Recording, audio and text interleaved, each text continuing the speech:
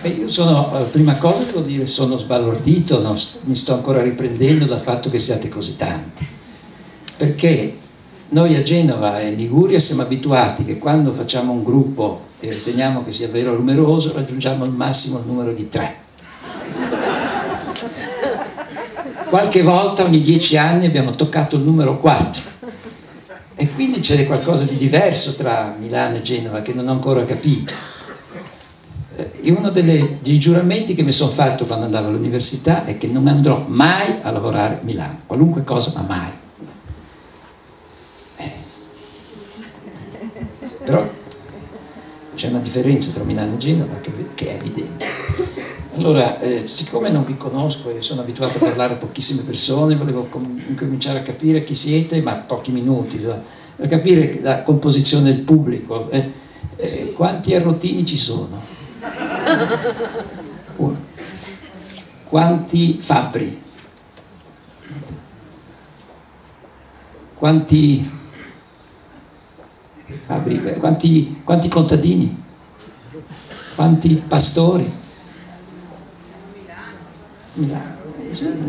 Scalpellini? Tu? Quanti cocchieri? Ma non fate proprio niente qua a Milano, niente, proprio non lavorate, eh? state alle spalle del sud eh?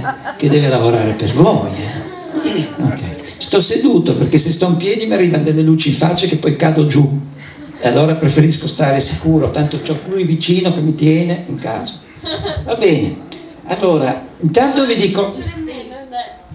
Ah, non, eh, bravo, allora sei come i miei amici di Genova. Brava, fantastico, sono contento. Allora, intanto vi do la cornice di questo incontro. Questo incontro è un incontro serissimo, perché si, il nostro compito che ci proponiamo è lo sviluppo della consapevolezza umana. Che vuol dire? Cioè, passare da uno stato di comprensione del mondo abbastanza distorta da... da che cosa? Dagli studi che abbiamo fatto c'è il mio maestro Boris Porena, maestro di composizione ma un maestro di vita, che ha sempre detto, io non ho mai incontrato una persona stupida in vita mia, tranne quelli che hanno studiato troppo. Perché guardate che studiare, come c'era scritto in un banco, fa veramente male a volte. Eh? Esatto.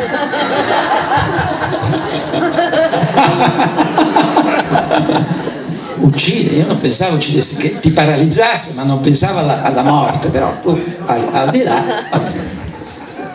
va bene.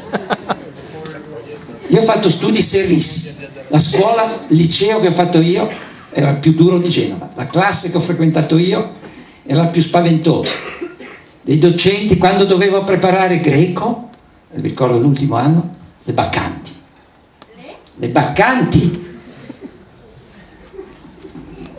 Una tragedia greca. Per preparare un'ora di lezione bisognava studiarne tre. Il problema è che, avendo frequentato le classi elementari, era facile comprendere che non era possibile fare per tutte le materie tre per cinque ore, valeva già 15 ore di studio a casa, troppo più un'ora per mangiare, tre ore per dormire, troppo.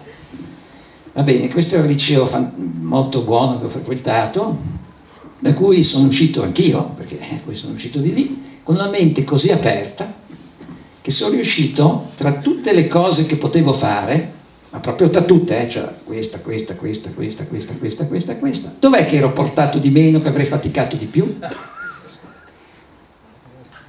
Giurisprudenza, cosa ho fatto? Giurisprudenza. E all'interno di giurisprudenza, qual era la materia che mi avrebbe fatto faticare di più?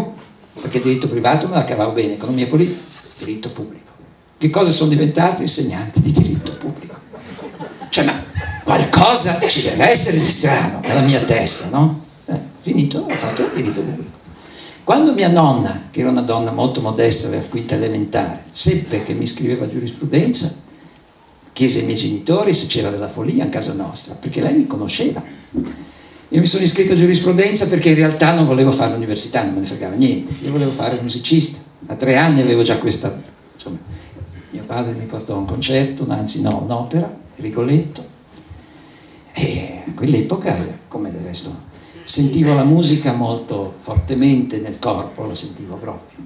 Per cui, quando sentivo la musica mi agitavo, come forse fai te, così finché ci fu un attimo di pausa, mio padre mi lasciò libero e io partì e andai diretto dal direttore d'orchestra. Vrum! Perché, sai cosa gli dico? Te lo dico, spiego.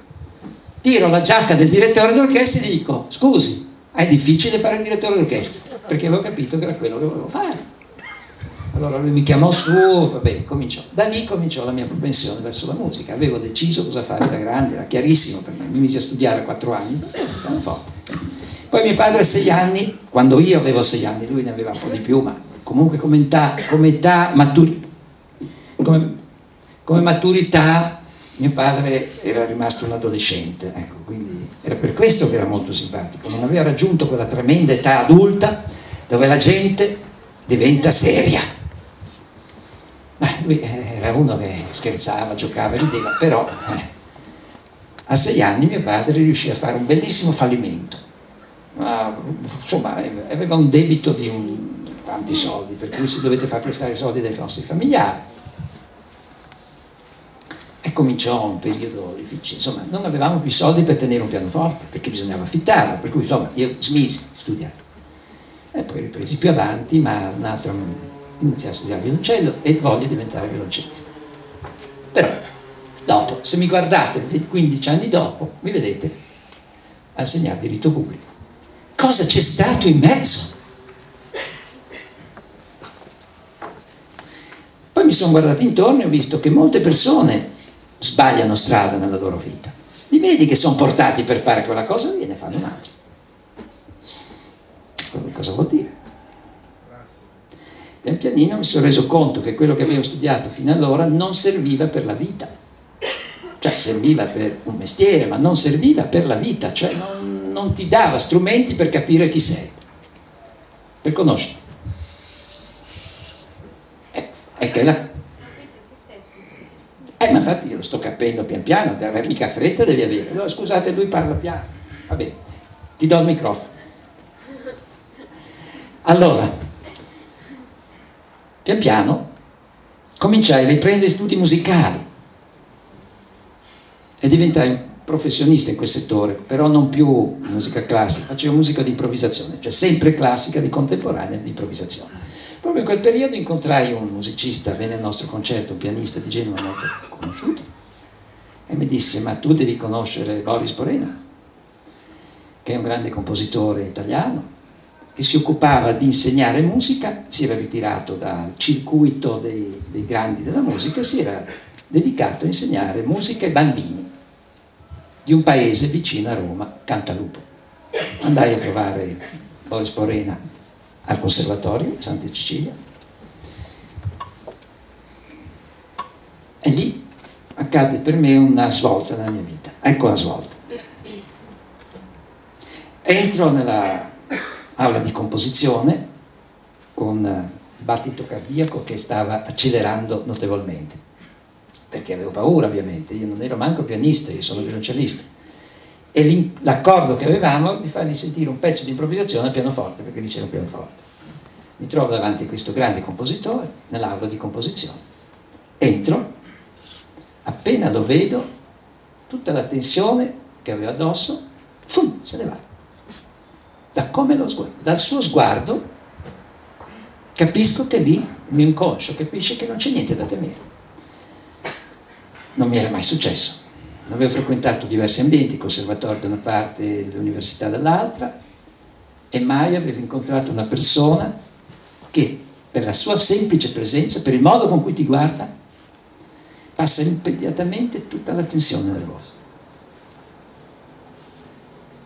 Mi mise a suonare, mi disse, bene, senti, sei venuto da Genova, sai che ti occupi di improvvisazione, ci interessa questo, qui un, ci sono alcuni allievi, vediamo, ascoltiamo cosa proponi, facci sentire subito qualcosa. Mi mise al pianoforte e mi resi conto che non ero io a suonare, ma le mani che funzionavano da sole. E dopo facevo un'analisi di quello che avevo eseguito e da lì iniziò una nuova fase della mia vita, cioè fino a quel momento non avevo incontrato una sola persona che aveva avuto questo impatto su di me. Cominciai a frequentarlo e pian piano quelle che erano cose che non riuscivo a capire, le tensioni che avevo dentro, perché avevo due passioni grosse, la musica da una parte e l'alpinismo dall'altra, non sono mica facili da conciliare. E vado a fare giurisprudenza, cioè sono proprio una situazione di schizofrenia. Infatti alcuni miei amici quando avevo ripreso la musica pensavano che fossi diventato tutto pazzo. Quando incontro Boris comprendo che la follia non abita dentro di me, più di quanto abiti in altre persone intorno e soprattutto di quanto abiti nella nostra società, nella nostra cultura. Morris che parte dall'analisi musicale si è poi dedicato all'analisi della cultura della nostra società, a comprendere quali sono i presupposti velenosi che fanno sì che le persone non capiscono nemmeno chi sono. E frequentando la casa di Boris, pian pianino cominciai a scoprire una via che era completamente nuova da prima.